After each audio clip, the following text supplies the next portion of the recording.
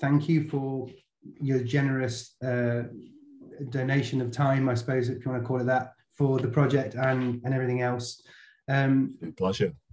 I think when I first started talking to you, I was still starting my journey on how how do I position this thing that the film and the potential conversations with with folk about um, being a vegetarian, being a vegan, not eating meat, and so on and so forth.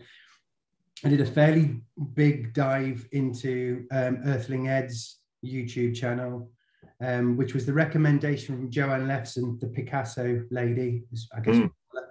Um, and she said, you know, um, listen to what he has to say because he explains um, why it's a good, really good idea not to eat meat, but also has conversations with people that are determined to eat meat.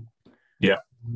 And but but kind of is quite rational and calm in the way he kind of. But I still felt that, and I'm not discrediting him. I'm really not trying to, but I still felt that the long haired Jesus look um, of a vegan talking to, frankly, very right wing American males about why it just seemed too easy for, for him to beat that argument when he was getting such, you know. Um, so I, I, I think that um, what, what I want to be able to do is. Um, argue the, the, the case or, or debate the case in a, in a way that I could quite comfortably do it in front of, a, the owner of a farm that has been a cattle farm for a livestock farm for three generations and have a decent conversation about um, you know what what's to be done about about it. Because I think something I mean I said to Joanne yesterday I, I do feel as if there's going to be a point in time where people just won't eat meat anymore because it doesn't make any sense to because mm-hmm. plant-based stuff is just as nice, nice and as tight as tasty or as nice yeah. as tasty. Easy for you to say. and um, you know, there's there's no environmental impact. I think, although when you hear the argument, she's like, yeah, but um, that, that, there's an impact on ongoing Le- less environmental impact. I think is what you need uh, to say, uh, yeah. and so on and so forth. So I really wanted, I really want to be sat in front of the people that make the strongest case to eat meat to help folk that are on the fence to go. Because I think if you're on the fence, the last thing you want to hear is um, a guy saying, "Oh well, the the answer to you know the the farmers." Um, issue over lack of, of funds is wildling which is what he said recently uh, in an interview. And I just thought, well, is it, would he be laughed out of the the kitchen of a farm if he came? That was his solution to to it. Um, and I, I, I kind of feel, even though I'm up on the surface level of all this, that he that, that he would. And and mm. and I think that humans you can rationalize with all humans, but the last thing you do is you poke them with a stick and antagonize them because you won't get anywhere if, if I, that's what you do. I completely agree. I think it's it's you know, and I've been leading the vegetarian society now for eight months, mm-hmm. there or thereabouts. And what I've been at pains to stress all the way through that is, you know, we are not here to jab people in the forehead and tell them they're bad for eating meat, because um, it doesn't win any arguments. Mm. It doesn't, you know, no one wants to be told they're a bad person. And you know everybody holds that degree of cognitive dissonance don't they you know, I, there's very few people in this world who don't understand that meat comes from an animal mm. and most people instinctively understand that the cows you see in the field do go off for slaughter at some point mm. um, and yet you know don't get me wrong there are some people who you talk to who say that i watched you know um, if abattoirs had glass walls i watched cowspiracy i watched these films and i went vegan overnight and i'm still vegan um, there are a lot more people who will take a lot more persuasion and hand holding and exploration, if we want to call it that, you know, to get them there. And it needs to, I always say to people, you know, it needs to feel exciting. It needs to feel like it's an adventure, not like I've put a hair shirt on and suddenly life's all doom and gloom and I need to live in a teepee and go back to the Stone Age, which is often what you get when you talk about renewable energy or some, or you know, mm. the, the rest of the environmental movement. So I do think this is you know, you're not going to solve this problem overnight. And I absolutely agree. I, I you know, I, I live for the day when we're not eating animals anymore. Mm. Uh, you know, and in many ways, we're not farming or exploiting animals anymore. Mm. I think we are on the cusp of a change. You know, we we were Homo sapiens have been around for about 200,000 years. And boy, we've made a right mess in that time, haven't we? We wiped out all the megafauna on, on most continents. Um, you know, the climate is, we're in the middle of a climate, self declared climate emergency. Mm. Um, and we were hunter gatherers for a long time. We've been farmers for a long time. I suspect we're on the on the cusp of a new food revolution. But you know you you are fighting against thousands and thousands of years of ingrained culture when it comes to food and meat and and simply shouting hey world go vegetarian or vegan is is not you know if it was as simple as that we'd all be doing it now so you know this is a this is for the longer term you've really got to be thinking about what the world looks like in 2030 2040 2050 yeah. and then thinking about the strategies to how you bring people along with you on that journey in my opinion yeah and i think i suppose the people that get hit the hardest mm-hmm. on that transition are the ones that kind of i'd like to explore um, because I, I, was on the edge of my seat when um, earthling ed was you know, on one side of the screen, and then there was the chairman of the NFU on the other. um, oh, I think it was the Scottish NFU. Um, and uh, he said, "Well, what, what what will all the farmers do if they can't, you know, farm livestock anymore?" And I was I was waiting for that answer. Um, and I I mean, wildling. I mean, is that a, a legitimate way of of helping farmers transition, or should you say rewilding is what you mean? Rewilding. What did I say? Wildling. Wildling is that like a? I think it's a children's storybook, maybe I don't know. well, there you go. There's, there's, that's where the wild things live, isn't it? That's research. Yeah. Um, rewilding. rewilding. Yeah, no. It's definitely there is an opportunity to rewild because as much as we talk about being in the middle of a climate crisis, we're also in the middle of a biodiversity crisis. Mm. Um, there are some wonderful charts based on academic research that shows that I, I can't remember the exact, but it might be, but if you if you were to adopt a vegetarian diet, you would reduce the amount of land in formal agriculture by about half. And if you adopt a vegan stroke plant-based diet, you reduce it by three quarters. I think you go from, I can't remember the exact, but something like 4 billion hectares to 1 billion hectares in cultivation. And of course, what that means is you think, well, what do we do with the rest of that land that's no longer needs to be farmed in a in a you know a, let's face it in a fairly aggressive monoculture type way, you know, single crops, uh, even if it's grassland. Um, suddenly you think, wow, actually we could just let that rewild, you know, mm. and, and there will be conservation organizations that say, well, you can't just let it rewild because it will just go to tatty scrub. Mm. Um, and you get what's called the climax community, which is usually woodland, because of course, you know, five six thousand years ago most of the uk was covered in thick dense forest. It's you know we we started cutting it down and clearing it. But there are some fantastic heathlands grasslands which are actually kept in a managed state between that transition well that's the fun of it you could have all those conversations mm. around well you know if we want to improve the biodiversity upon which we all depend people mm. talk about pollinators and bees Mm. You know, but they are one part of that complex web of biodiversity which we we interfere with at our peril, and we have been doing for many yeah. many years. Um, so I think what people what's really important for people to realize is that actually the, the, the, the more we move to an increasingly vegetarian and or plant-based diet not only do we reduce our own personal carbon footprints and of course the food system in the round is thought to be responsible for somewhere around a third of all global carbon emissions.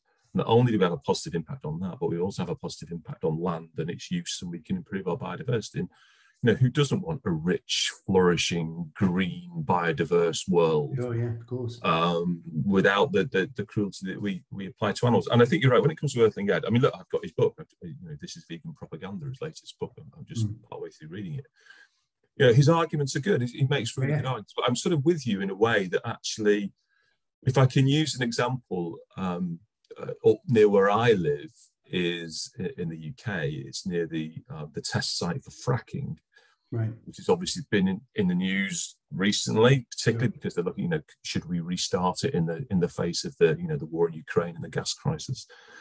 Um, when it was live and they were testing it, there were huge protests. But my sort of criticism was it's fantastic that people give up their time to protest, but they look like eco protesters. Mm. There's lots of multicolored clothes, there's lots of dreadlocks, there's lots of so I think people walking past go, Well, that's what protesters look like, that's not me. Yeah. And the trick, no, and that's not to demean that group at all. What their, their activism is incredibly hmm. powerful, and these, these are passionate people, and we need those people in yeah, the yeah. in the fight. But you also, you know, you need people who look a bit like me, mm. boring and ordinary, you know, um, because uh, that's what most people look like. You know, yes. most people yes. they don't look like um, you know you're on Love Island, and you don't mm. look like an eco You just look ordinary and normal. Mm. And you need to. I mean, there's a dreadful word, but it's true. You need to mainstream this. You need mm. to make plant-based foods, vegetarian, vegan foods, whatever you want to call it. You need to make it the norm for people yeah. Um, and you do that by more and more people who look like mm. each other adopting it and thinking it's normal. I I know I, I completely agree. I, I think, uh, but I think that that's it's kind of like a quiet activism and and brand visual thing. I think we are all there. Um, it's just taking that extra step to actually get into you know getting onto the streets and actually doing some form of activism. I think is, but I think that'll come. I think if it has well, to, it, it will. It does um, come, you know. I've been down in London. You know, I was on the Greta Thunberg march in Bristol just before lockdown. Actually, you know, there was thousands of young people there marching for climate. Mm. Being at protests in London um, for you know animal rights, and again, lots and lots of young people and activists. Um, the trick will be to take that and to and to, to take that groundswell of on the ground activist support, but then to you know how do you actually stand, for instance, in front of a group of politicians in Westminster mm. And convince a lot of people in suits who mm. need people to vote for them that actually um, developing policies which are pro vegetarian and pro vegan and maybe not pro meat are actually not just good for the hmm. future but potentially vote winners as well. The politicians that I've I've met a few in my time. I think they've mostly been conservative for whatever reason, um, but they all, well, yeah, but they they tend to re- represent you know quite rural constituencies, um, and I've lived and worked with. I mean, I'm from you know the sticks myself. I know the people that would have the objections, and I think they'd make some pretty pretty strong arguments. But I want to be able to give better ones back, or at least ones that make them go, oh well, I didn't I didn't realize that, or actually I've never really thought about it that way. And that's a tough gig to try and achieve because um, they tend to be quite intelligent people as well. That you know, oh, uh, absolutely, own their own own farms or own their own land and um, or run businesses that ha- would be effective if if etc etc. So I really want to be able to um, speak to them at their at their kind of level really. I, I, would agree, and I think if I can if I can use another um, sort of example when the Occupy movement was huge, you know, and you had people outside St. Paul's Cathedral, you had people on Wall Street in the States. Um, and the, the, the, that huge encampment was set up outside St. Paul's. You had um, the Reverend of St. Paul's, uh, you know, who was actively supporting them and I think stepped down in the end because, you know, he felt his position was untenable. Mm. Um, but when the protesters were interviewed, and they were saying, well, okay, so you don't like capitalism, we get that, but what's the alternative? Very, very few of them could mm. construct a 30 yeah. second argument to say, well, the alternative is. Yeah. Um, they could critique what was wrong with the current system, but they couldn't give a solution that yeah. would go, oh, yeah, I get it. Right. That's what we need to do. Yeah. And that is a huge problem, as you say, because if you're going to stand in front of somebody who is a you know a, a multi-generation farmer who's been on the land for a long time who who is thinking that your job is to try and put them out of business and throw them off the land, of course you're going to get pushback. And you know, I'm somebody. I'm from an ordinary working class background. You know, my dad was in the mining industry in the 80s. Um, he was on strike for 12 months with the miners. Um, and then the two pits, one pit first closed, he moved to another pit, that closed. And, you know, a lot of northern towns and Midland towns were thrown on the scrap heap. Yeah. And I think meat farmers will be looking, going, well, is that what you want to do to us? You just mm. want to close us down and chuck us out? Um, and of course not. You know, I wouldn't want anyone to go through what people in the mining industry had to go through in the 80s with such a, you know, a, a, the whole scale closure of pits and whole towns thrown into turmoil, mass unemployment. What you need, a lot of people talk about just transition. And, and the reality is that is what we need. You need to work with people who are currently in industry to, to set that sort of no actually what we're we're not looking to kick you off your land necessarily we're looking to to give you a different way of looking at mm. how we use that land and how we farm it and you know george monbiot who's you know a lot of time for george monbiot he's the, he's the you know great writer great environmental activist has just written a book i think it's called regenesis which is all about that you know how do you transition away from our current systems towards rewilding. He, I don't know if he, he, wrote a book called Feral, which is very good, which is all about. It's very interesting because I, I remember I'd read it, and then we were up in Northumbria, uh, in the Northern Pennines, and I took a, a, photograph of landscape that looks very bucolic. You know, there was um, uh, managed uh, pasture land at the bottom with sheep. There was upland grouse moor, and then there was a conifer block plantation. And you take a photo, it looks very nice. But actually, what you've got is three complete monocultures You've got grass and crap at the bottom. Right. You've got um, managed uh, heather, which is regularly burned at the top and not much else. And then you've got a conifer block plantation, which is completely unnatural as well. So it looks lovely, mm. but it's it's a, pretty much like a dead landscape, right. really. Mm-hmm. You know, whereas really, if you had an extremely biodiverse landscape, you'd have a huge, huge richness, richness there, which you could do if you took the stock off the landscape mm. and allowed it to um, do what it needs to do, albeit with a little bit of human management. But of course, you know, there is then the questions of well, who pays for that? You know, at the moment I'm running a business and I'm selling my stock and I'm getting I'm getting money for it. I think what most people forget is that you know farming is one of the more heavily subsidized industries. You and I pay for it as taxpayers. You know, we are all the single farm payments and the grant schemes that farmers get are all funded through taxpayers' money. So it is already a subsidized industry to a certain extent. So I think what we need to do is to look at the the economics of farming and start to go, well, okay, to your point, Scott, rather just going, hey, you know, meat is murder. We want to, you know, saying, actually, no, okay, we recognize you're all human beings and you need to live and eat like the rest of us. Here's how we think you can, you know, manage the land that you're on, actually for public benefit. Mm. You know, we will all, when, yeah when the Crow Act came in and you know land was opened up, you know moorlands, the right to roam, um, that was fantastic. But it's only really in the in the slightly unmanaged upland areas. You know, imagine if all those grassland areas that are currently fenced off, do not trespass, stay on the footpath, were opened up, and you know we as citizens could could roam that land safely, you know, without destroying it, but you know, not not worried about worrying the sheep. Um, but you'd have this fantastic, rich, biodiverse landscape. You know, the people who manage the land would be being recompensed for it. Um, uh, you know, but you, are absolutely right. You have to. What what we as activists have to do is to find that rational argument, so that when you Scott are sat like Earthling Ed opposite that farmer, mm. you can you can um, empathise with their position first of all. You know, walk a mile in their shoes type thing, mm. But then start to put what sounds like a very credible alternative so that you don't sound like you're, you know, slightly out there with no. You have to have respect for uh, the fact that they have families and run businesses and always have, and it's been fine for a long time. Um, and it is difficult to change, you know. I mean, that was the I mean, I'm no expert, but certainly what you're alluding to back in the 80s was the massive problem was they just shut everything down and didn't have any any, any plan. And well, it was politically driven, just... wasn't it, to a certain extent? My, my view would be it was politically driven, and you know, it was it was about you know getting rid of union power hmm. to much much yeah. extent. And unfortunately, miners and their industry were just collateral damage and all of that.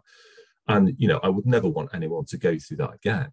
And I think you know, farmers are human beings. So they've got families. They hold a very different view because they have, you know, they've grown up and developed in a world of meat farming. Yeah. You know, why would they be vegan activists? yeah, yeah. or yeah. vegetarian activists? Um, and, and I think, okay, it doesn't feel quite as self-empowering as if you're going along protesting and you know and shouting and holding placards and yelling at people but i actually and i think that has a that has a place don't get me wrong i think that definitely has a place but i think the the quiet activism and the quiet negotiation you know, again you, to use a parallel which might feel a bit odd but if you look at northern ireland mm peace was achieved in Northern Ireland mm. actually from a lot of very quiet backdoor negotiations that went on over many years while people were killing each other. Mm. Um, and it was actually politicians that sort of, you know, Mo Mowlam in particular, that sort of resolved that in the end. And I think you've got a similar thing here. It will be that slow process of engagement and talking and treating people like fellow human beings mm. But at the same time, to your point, having some very credible solutions, not just shouting about the problems without having a very clear idea of what the solutions are. Mm. Um, and they don't necessarily disempower one person or another, is going to be critical to this whole um, situation. I think that people are with with the I've definitely seen over the last certainly six six to twelve months the the um, the amount of choice that you have in supermarkets now is so radically different to how it used to be. Um, and I, I, think there will be, well, there will be, and there is a, a transition that people are making anyway. And they're just going, you know what, I'll buy, you know, like Richmond sausages, the, the, the veggie ones versus the, they look and taste exactly the same. So the more that happens, the more people will just naturally transition. That's going to have an effect on the farmers anyway, because business is just going to be less boomy than it used to be, if if at all. Um, that, that so, is a very good point. And I, I, you know, I gave a talk actually just yesterday to a, a, a local authority, and it was um, because it we are in the middle of this, this this interview is happening in the middle of National Vegetarian Week, which yeah. is our you know our annual headline campaign, and I was it was because of that that they'd asked me to come and talk to them and their employees. And one of the point I was making was change will come not just because people like you and I are going out trying to talk and spread the word, but just because the landscape around people evolves and changes as well. Mm. There's some wonderful research that shows um, it looks at menu design and it suggests that if around 70% of a menu is vegetarian and vegan, people will tend to pick the vegetarian and vegan right. options rather than try to go down and find the meat options. Really? And I think, you know, I live for the day. I live for the day when there's no meat in this supermarket at all. But I, I, hmm. in an interim, as a milestone, I'd live for the day when the plant-based section of the supermarket is the meat-based section. Yeah. yeah. So if you are still insist on eating meat, there is a small section in the store here which has some of your meat. The rest of it's all veggie, vegan, plant-based. Mm-hmm. Um, but yeah, the, the choice. Look, you know, I, I became vegetarian in the 80s, and and really, um, you know, sausages and burgers were available, but you had to get them from a health food shop. There was no internet, obviously. Um, there was something wonderful called TVP, which was a sort of soya powder mince that you put boiling water on and stirred up and threw herbs and spices out and hope it tasted or something. Um, you know, that, that was, you had your beans and your, again, tofu from a health food shop, but you know, I fast forward now, yeah, think, my goodness, you know, eat, and, and, to be honest, these plant-based sections are really only in the last few years in supermarkets. Yeah, yeah, it is. Really it's very off. recent. And now you've got there's almost two or three. You've got one with your, you know, your steaks and your sausages and your burgers. You've got another section with your classic tofu or Quorn or these products. Um, and then you've got your plant-based milks section as well, and milk-based uh, plant-based yogurts and. Yeah. Um, and I think you're right. You're right. You, I mean, it's a really good point you make. The fact that um, as much as my job is to encourage people to become vegetarian or vegan or to reduce their meat and get on that journey, actually just changing the way we produce our food around people mm. and giving them foods that look, taste, they're similar to what they eat, have a texture that's mm. similar to what they eat, is going to be one huge part in changing this whole agenda. So rather than people sort of um, taking a moral decision to be vegetarian or vegan, they will just almost de facto start to eat more plant-based foods.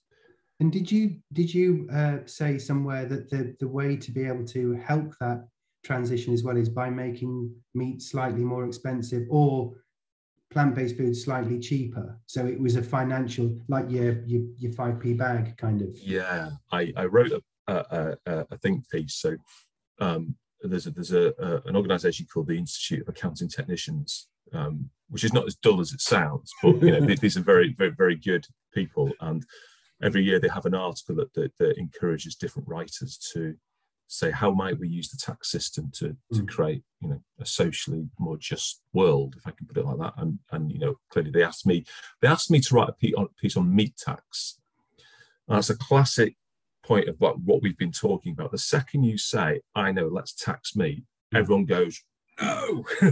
you know or well not everyone but the people you need on side go mm. no how dare you you know it, a it's a tax and b i like meat so that's yeah.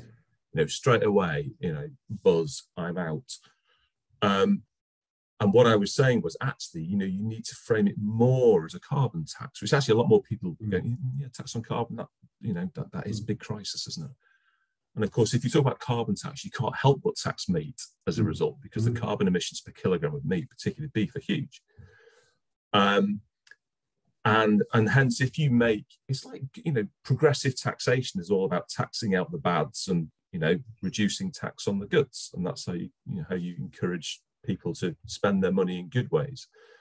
Um, but the, what people automatically say is, and I had this a, a, charity I used to work with. We looked a lot at you know um, packaging and, and, the costs mm. of packaging. Um, I used to say, oh, if you if you impose costs on people to try and get them to reduce packaging, you know, it'll cost jobs and you'll hit the poorest members in society the hardest. And that's always the two arguments that business comes yeah. back with. Yeah. It's going to you'll lose jobs and you'll hit the poorest in society the hardest. And yeah, of course, if you make, I mean, you look at the discussions this week. The price of chicken is going through the roof. You know, what will we do with school meals? And so, well, the, swap the chicken out for chickpeas, and, and there you go. But I, the article I wrote was yeah, you've got to focus on increasing the price of meat, but you've got to focus on, on reducing the price of the alternative mm-hmm. things that you want people to eat. Because otherwise, you'll say, well, it's going to cost jobs in the industry and you're going to hit the poorest members of society harder. So, well, no, you're not, because actually, what we're going to do is encourage people to eat really healthy foods, which are just as good, just as tasty. Uh, and we'll use the money from the tax up here to recycle back into reducing the costs of these items down here. So you don't hit the poorest members of mm. society mm. the hardest. And actually, you incentivize those people in the industry who are producing those other foods that you want. Mm. You know, whether that's people importing chickpeas or whether that's people who are making Richmond sausages, which are very good, I have mm. to say, by the yeah, way. Yeah, really good. Um, and so you use the, the you know, you fiscal drivers, if you use the tax system away that, yeah, let's increase the price of meat and let's bring down the cost of fruit, vegetables, beans, pulses, Richmond sausages, whatever it might be. Um, you know, and people will, well, classic economic theory suggests that people will move towards it. There is also a thing called heuristics where people take shortcuts in their head as well. Right. well, I still love my meat, so there's a guy selling it out his car boot behind the pub. Let's go and get it there. uh, people will find shortcuts, but by and large, you know, it, it's like anything, in it? You know, make things more expensive and make mm. alternatives cheaper. Mm. People, particularly with the cost of living crisis at the moment, people will go for the cheaper options. But you have to put the wrap around around that and say why it's good as well why it's you know and make it attractive rather than you know oh dear am i just going to be eating a diet of mung beans and herbal tea for the rest of my life? I mean I, i've not eaten meat now for the last six months and i would i really i really dug my burgers and my, my steaks and that kind of stuff. Um, and after after six months i don't miss it anymore. I feel healthier. Um, and I, I find that what I eat is more interesting because it's it's so easy to go for a, a formula that you know makes you happy. Um, yeah. If you're Nando's or wherever. um, Good old Nando's, yeah.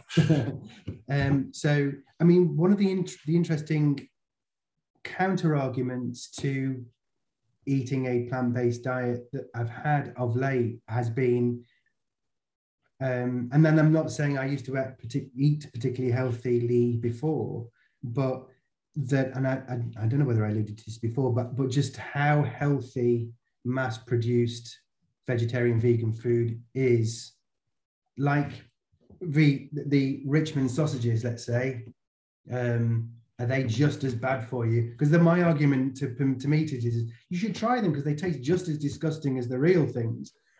and I but I like them, but we know what we mean by that. But are Richmond, and I'm, not expecting you to know the answer. It's just kind of like a out there. Are they as unhealthy as eating um, Richmond real meat sausages? And do we have to be cautious about just diving into, you know, your Quorn nuggets and your your what the cluck chicken and all that kind of stuff? I mean, is there, or is it all just good for you? No, the, the, the, answer is yes. Of course, you have to be cautious. I think if you there is there is a there is a difference between a sort of whole foods, mm. nutrient dense veggie or vegan diet and a diet where you use a lot of the meat substitutes that are there at the moment. And I think you you know I, my argument would be yeah, people say they're unhealthy that, that they they're categorized as ultra processed food. Um, just because they're processed doesn't mean it's instinctively unhealthy. You know, most foods have some degree of processing, unless it's raw fruit and mm. vegetables and there is a scale. And at the top of the scale is ultra processed, where some of these foods sit. Um, some of them do have higher levels of salt than perhaps you know mm. we would like, but there is again there is work. There's a program called Action on Salt, and a number of these manufacturers are very conscious of getting the salt layer levels down in these foods. Right. There's also a very clear understanding within a number of these businesses, and I've heard it described many times before, that nobody wants to turn the packaging over and see an ingredients list that looks like a chemistry set. Mm. Yeah. And so, actually, there's a lot of work going on in these meat subs to say, can we reduce the number of ingredients? Can we make them feel more natural? Or, or, or, actually, can we just make them natural and can we reduce the levels of salt? But can we retain that taste and that texture mm-hmm. and that look as if it looks like a sausage or a burger or chicken mm-hmm. pieces? And um, do you know what? I think we'll get there definitely. Mm. But at the moment, I would say it's they're like any food. Have a look at you know most foods now are traffic lighted. Have a look at the fat, salt, and sugar, and take a view. And yeah, yeah. And you know, eat them in the same way that you would eat sausages and bacon yeah. and burgers. I.e., not three times a day, not for breakfast, lunch, and dinner. You know, yeah. it, anyone eating that is is not going to be healthy. Mm um, because you know when the World Health Organization linked red meats to cancer, it's you know it's because we overeat these things in mm. Western society. So, um, but for me, I would say um, the the the they're no better or worse than the the meat they're trying to swap out, except for the fact that you're not killing an animal and your carbon footprint is also a lot lower, particularly when it comes to yeah. beef. So eat them as part of a balanced diet. You know, have them a couple of times a week, but have a, a chickpea stew or a lentil curry alongside it. And that comes back to your point about richness of the diet. You mm. suddenly, and again, I said this on the on the, the, the call I had yesterday with the local authority, saying, you know, actually um, use a trip to the supermarket as a voyage of, of discovery and exploration. Mm. Spend, stay in the fruit and vegetable aisle and spend more time looking around. Don't just go for broccoli mm. sweet corn and whatever else you go, have a look and go, actually, do you know what? Kohlrabi, what do I do with that? You know, just mm. have a little celeriac. What, what yeah, is that? Yeah. What do I do with it? Have a little go and experiment. Go to the, the beans and pulses section and don't just pick up a can of baked beans. Mm. Look at all the different beans, both tinned and dried that then think, actually, yeah, yeah. you know what? There's a world of beans out there. We should all be eating more beans. You know, yeah. They're actually very, very good for you from a digestive point of view. Um, they have other effects as well. Um, but then, you know, look at um, the meat substitutes as well and build those in, but don't mm. make them absolutely central to everything you do because I suspect at the moment, yeah, they're, they're probably, if you eat them three times a day, it's not going to be healthy. But if you eat a, a balanced diet where you have whole foods alongside some of these other foods as a treat, just like just like you eat the so meat anyway, at the moment, you're going to be fine. But you but you will but you won't have a stake in the whole animal agriculture industry mm. which i think is most people are too accepting of you know? I think we do and people get very upset if you use you know if you compare it to things like the slave trade and the people who fought back against the slave trade because that's human beings. How can you compare animals to human beings well i am going to compare animals to human beings you know mm. they are emotional sentient creatures. In fact, you know, Parliament only just in April passed a bill recognizing animals with a vertebrate, including some that don't like lobsters and crabs, yeah. as sentient. sentient yeah. Now, that has yet to track through into any policy, but we'll see. So, if they're sentient and they feel pain mm. and emotion, then, you know, I think I'd much rather be buying some Richmond sausages than buying the alternative and, and, and take myself outside that whole industry. Mm, no, I totally agree. I totally agree. And I think I think that in my experience so far, it's been what about the farmers and their business? The food, yeah, is it as good as you say it is? Um, there's a fair amount of passion to debate it back without much research as well. But it's just the idea of going, well, you're telling me or suggesting I should do something I've always done. So, but the other the other most common one that I've experienced, and I and I, I've not really been able to Joe uh, Kendall, a friend of mine, kind of said, well, you know, they're just being bred to be killed. So, duh. Um, but the argument of, well, what happens to, all, you know, you, you go for a, a walk on a Sunday past a load of fields and it's full of sheep, cows, um, and whatnot. And if we go the direction that we think we're going to go, what happens to all of those animals? And how do you, they're kind of like you, they, they turn the table of the moralistic argument and go, well, you, yeah, but you're going to make, you know, one person said, well, they, they would go instinctive, extinct if you did that. Um, I mean, you must have heard that argument. I've heard that argument many times. Well, I mean, it's, what, it's what a, do you say? Because my argument's always a bit rubbish. well, um, like the reality is, you know, you're not you're not going to suddenly stop and go out into fields and shoot them all. You know, no. so right, that's it. We've washed our hands of animal agriculture. This is we talked about a transition before, and this is a managed transition. I mean, you talked yourself around if people stop buying as much of these things, then over time less and less will be bred. You know, hmm. you'll probably find that people go for the more exotic breeds and start selling meat as a luxury item. You know, this is a this is Herdwick lamb, and you know, hmm. rather than just being lamb lamb. Mm. Um, so you, I think you will get a managed decline. Herds will naturally come down over time. Um, people usually say, "But yeah, but you know, that these poor animals won't have a life." Well, you know, it's not much of a life, isn't it? Being, you know, particularly when it's going to be, if you think about the average cow, you know, the average cow can live to an age of 25. Most of them are slaughtered at five. Well, in human terms, that's a sort of late teenager, mm-hmm. you know. So, and it's a pretty brutal ending, whether we like it or not. Whether it's been, you know, grass fed on wonderful pasture, it's still being bundled into a van and slaughtered quite horribly. Mm-hmm if you describe the process of slaughter in human terms, people would be aghast if it was yeah. a human being, but we call it humane. So I think, um, and let's forget, not forget that these animals, you know, the way they look now is not the way they looked hundreds of years ago. You know, they've been bred from wild versions of animals. You know, there is the wild version of the sheep, there's the wild version of the cow, the auroch. Um, and so, you know, let's go back to the to the way they were. Let's let's reduce demand over time. Herds will come down. At some point, some farmers will go, Do you know what? I'm probably going to wrap it up and mm. we'll stop. And yes, those last few animals may well end up going to the abattoir before the farm closes, but at least they won't be breeding and breeding more animals mm. into what is fed. Let's face it, it's a life of slavery. They sit within walled compounds. Sometimes they don't even see any daylight. And at the end of the day, they're slaughtered well before their natural time. Mm. So it's not that you would just have this sudden stop and you turn around and go, but we've got 7 billion animals. What do we do with them? Yeah. It comes down over time. And then, um, you know, the native species from which they were originally bred live a happy life in the wild just as they would have done ordinarily. And, and I suppose and the, if we're talking about rewilding, um, exactly, that's, that's where they'd be. Yeah, that you, you'd rewild.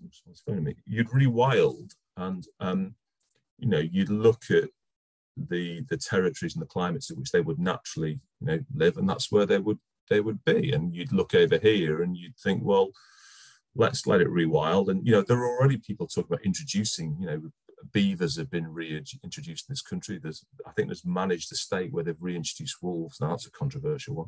Mm. George Monbiot goes further, and, and I think he's slightly tongue in cheek, but talks about you know reintroducing lions in this country, which we probably had a pre-ice age going back a bit. But yeah, I think we you know we probably draw a line somewhere. Just have a think about that one.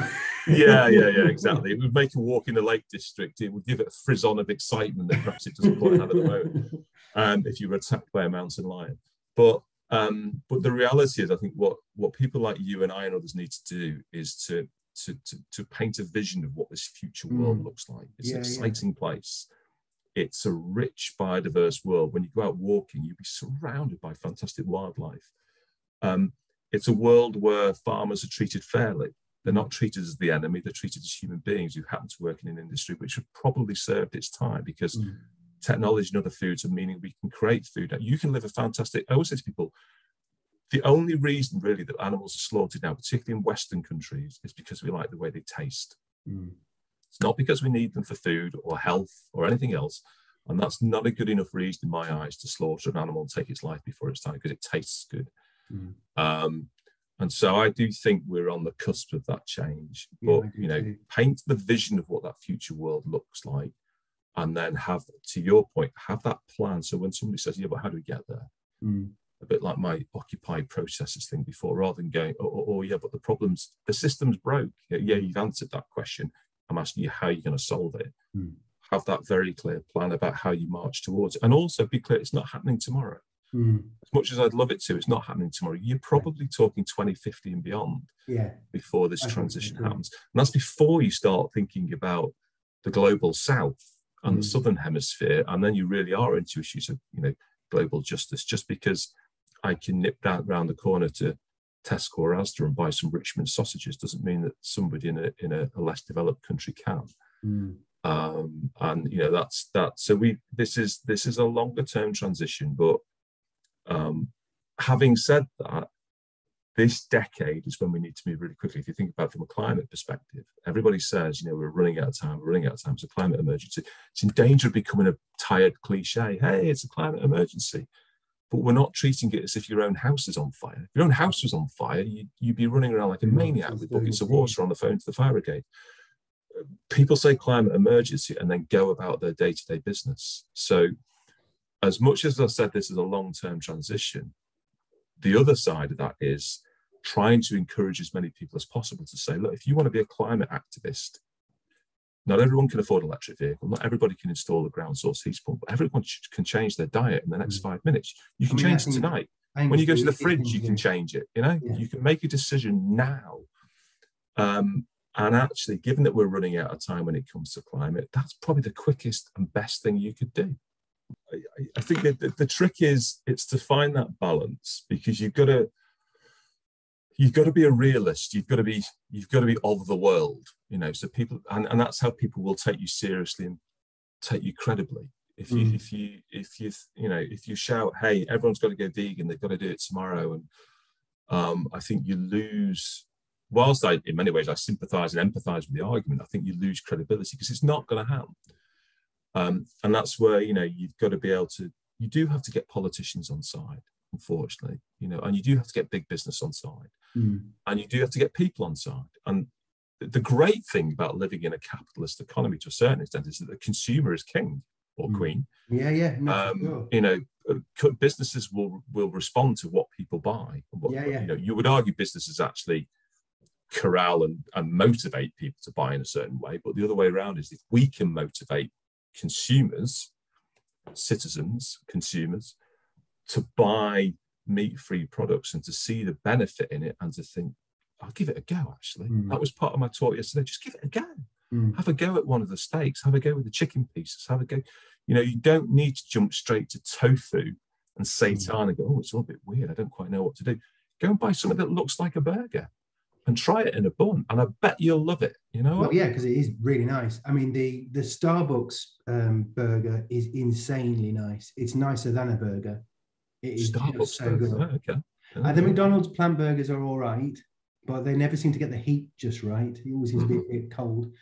But the Starbucks burger, man, I, I I swear it's me. I really do. It's so good. Um, I, I've had the McPlant and I've had the Burger King. Burger Kings are good too, but there's Yeah. that thing about how it's Yeah. cooked. I mean, the Burger King one isn't technically vegan, technically Yeah. vegan, because they, they can't cook it separately.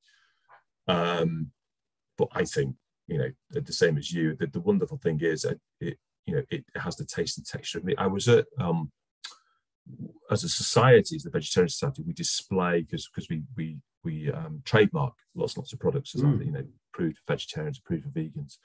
And we were at the um, Institute of Food and Drink exhibition at the ExCeL, which is enormous. It's like a massive yeah. warehouse.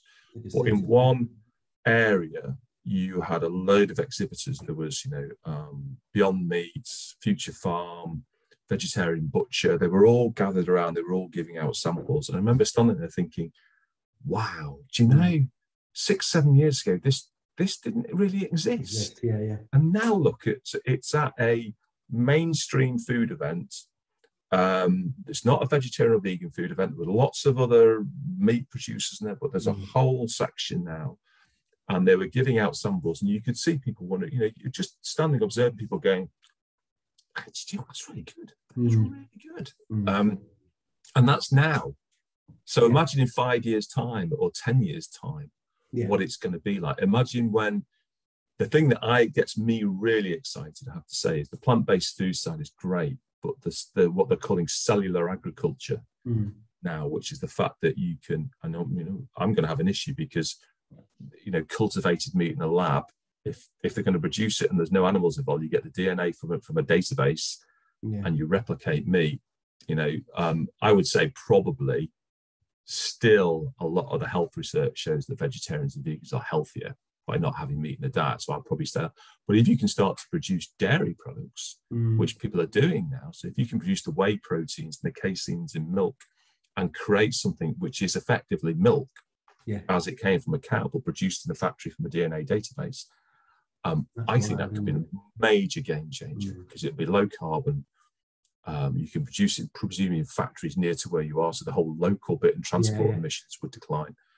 Um, uh, most people who are vegetarians say they can't go vegan because they just stumble over cheese every Mm. time. You know, you blast the cheese and all those dopamine receptors go up in the brain. Um, well, if you can start to create what would effectively be lab-based cheese and a variety of cheese, there's Stiltons, Cheddars, Bries, what's what's not to like? Mm. actually you know and in some ways that comes back to that conversation to say maybe as much as it is my job is to encourage people hey go vegetarian or vegan it's also trying to change the food landscape around people. So Mm. actually i'm not telling you not to eat cheese. Why would i work for the vegetarian society?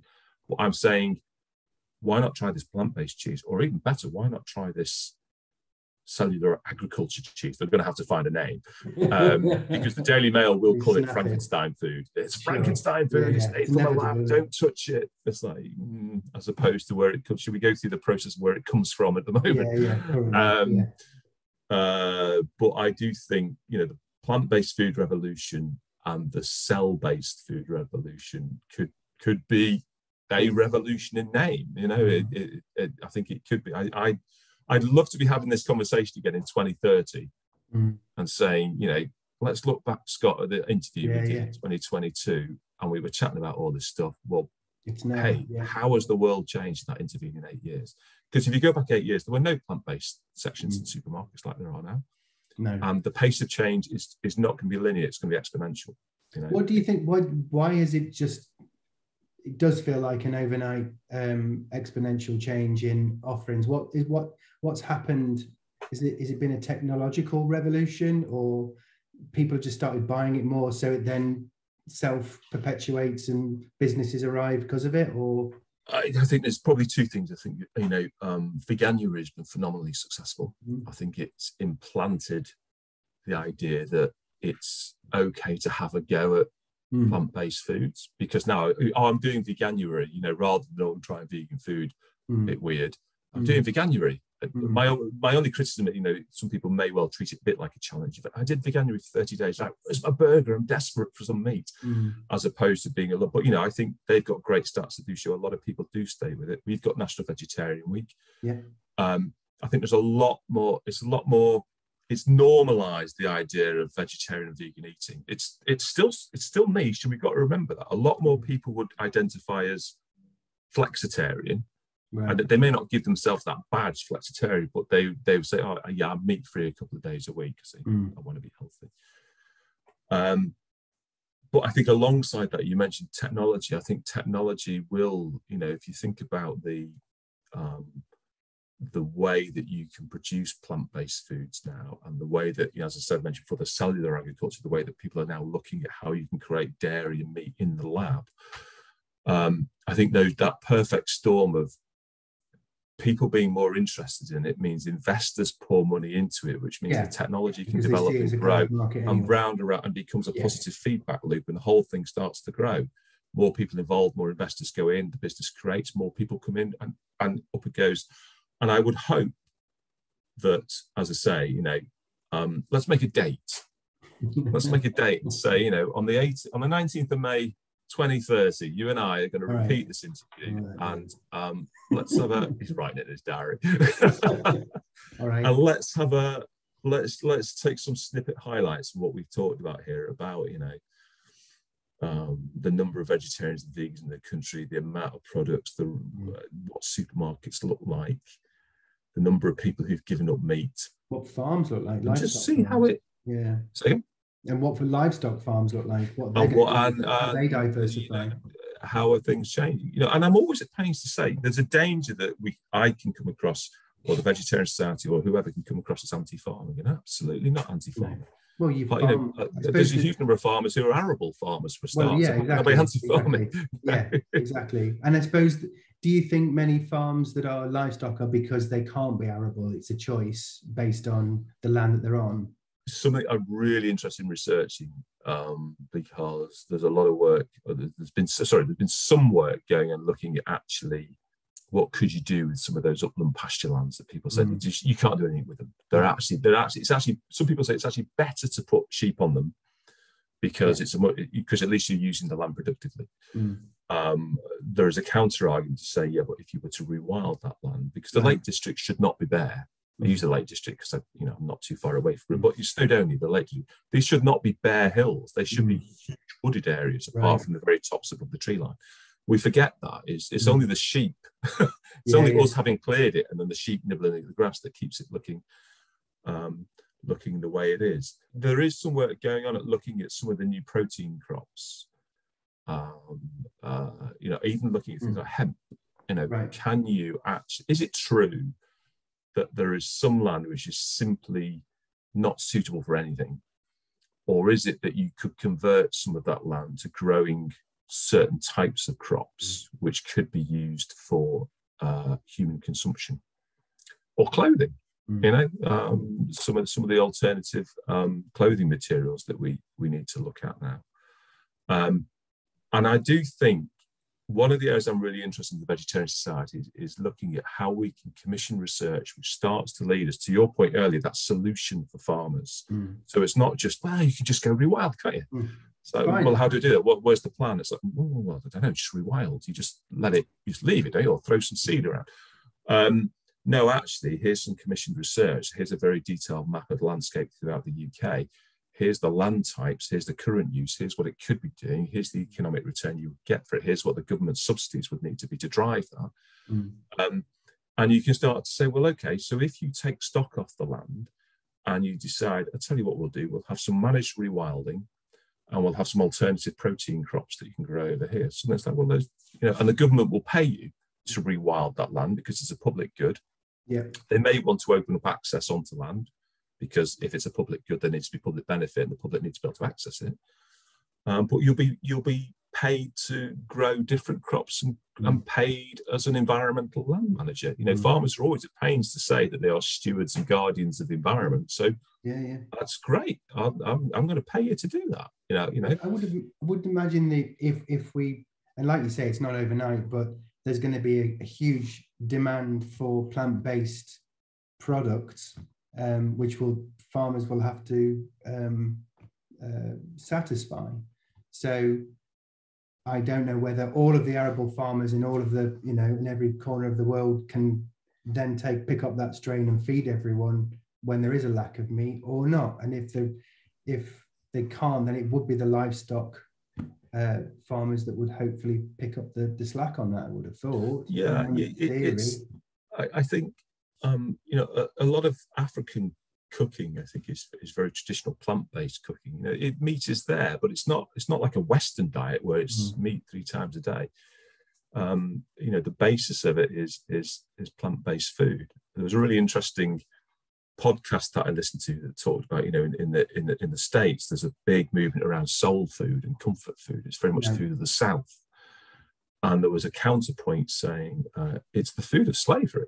You know, it's Right. it's the foods that were eaten was you know the slave master at the time would be throwing these scraps to slaves, and it created yeah you know, what is a hugely comforting food out of it. But of course, Mm. it does lead to high rates of obesity and all sorts of other problems. And actually, the very traditional African diet was was not a plant based diet in its entirety, but a much greater Yeah. proportion of rich plant based foods.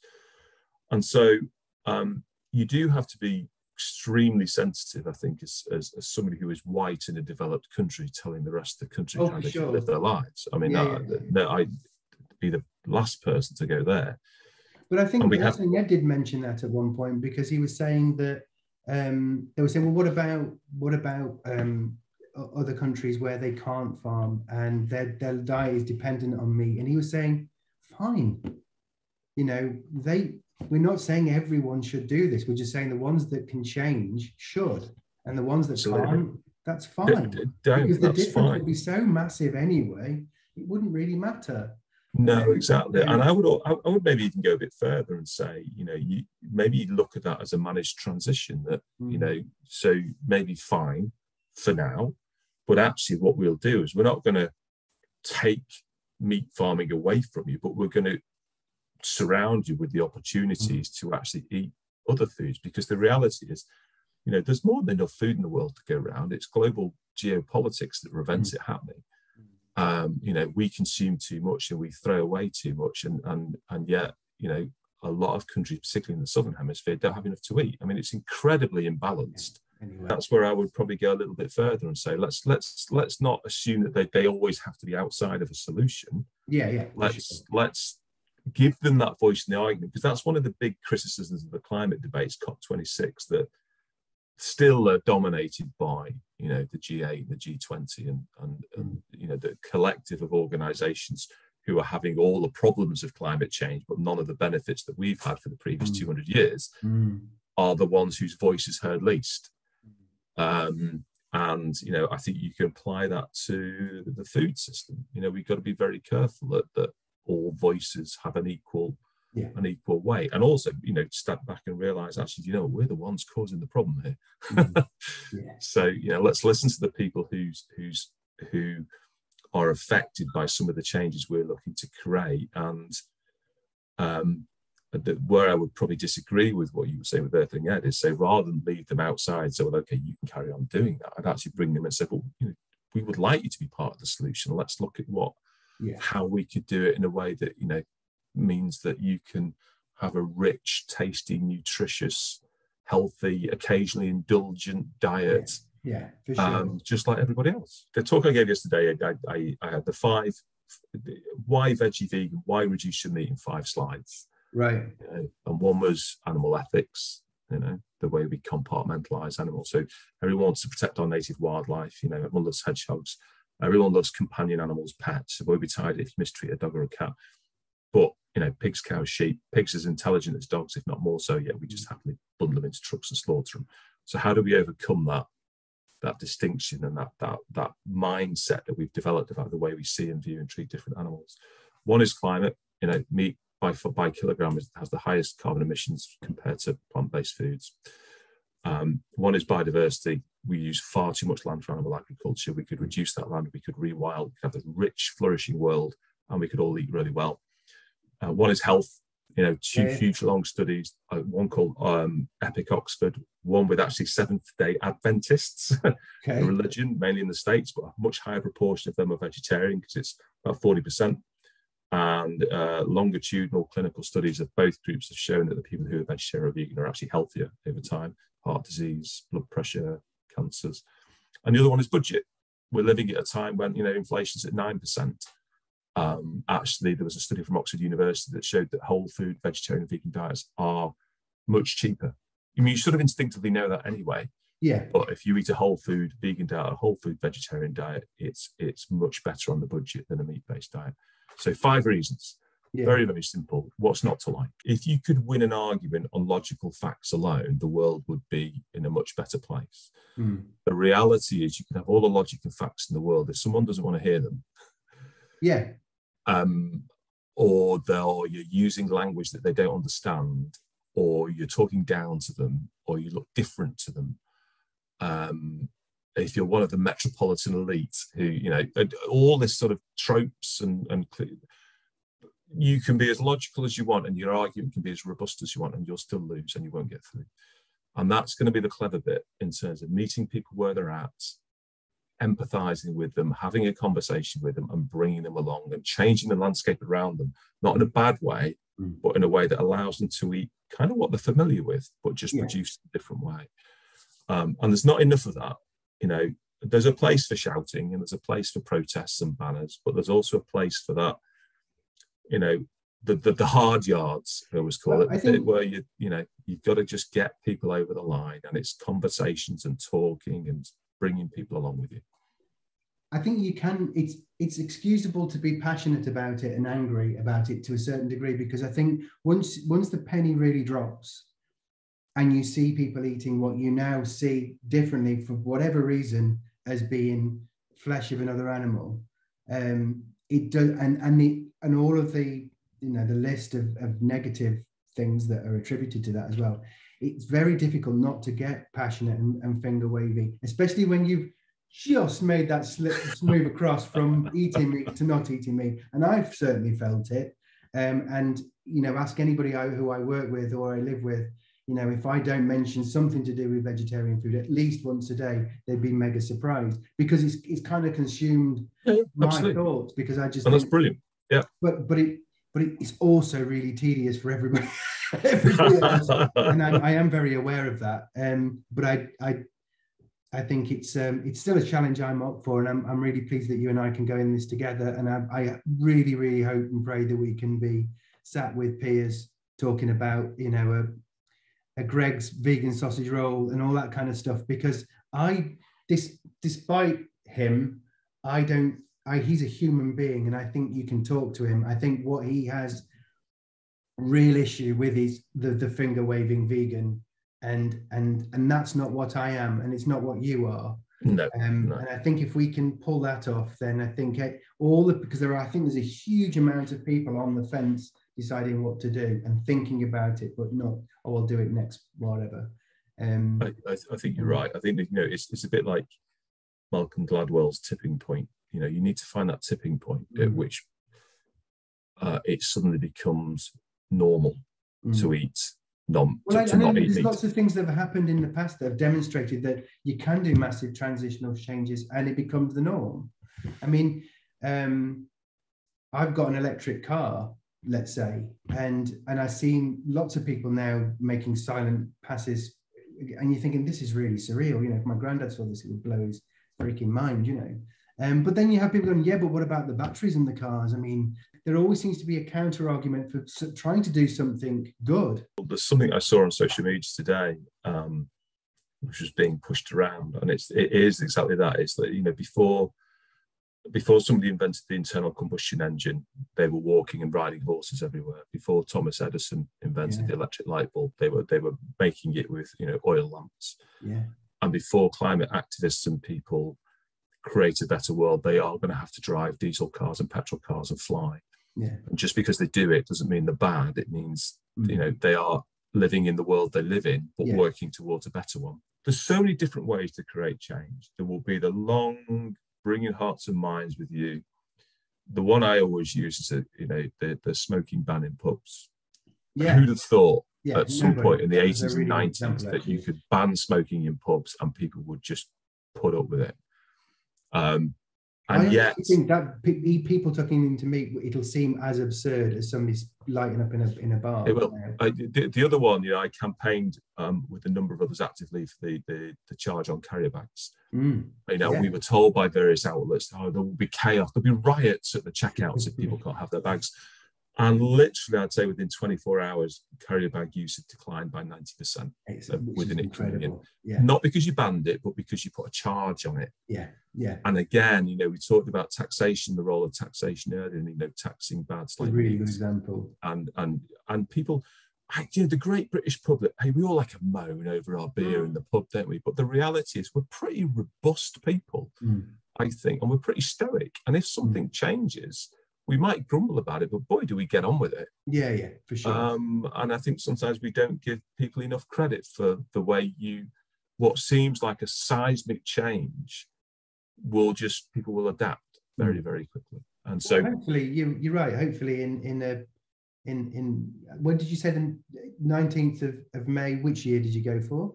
uh, I went for 2030 because it's, it's. I reckon it's going to be sooner than that. I think I think I think there's going to be. I mean, I, th- I think I don't think everybody will not be eating meat by then, but I think it, the, the shift will be gigantic by then for sure.